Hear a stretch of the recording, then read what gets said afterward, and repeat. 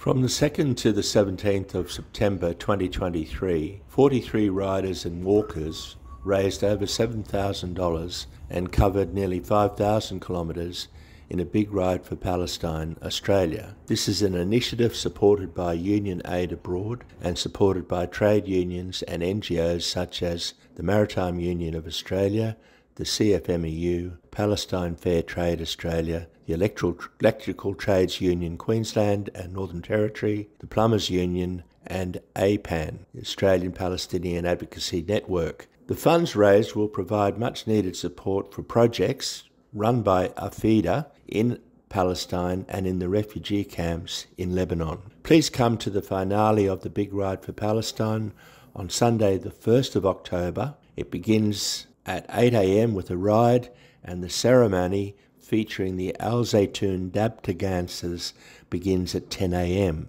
It is held at the Ballady Coffee Cart on 237 Brisbane Corso, Yeronga. Bring a friend.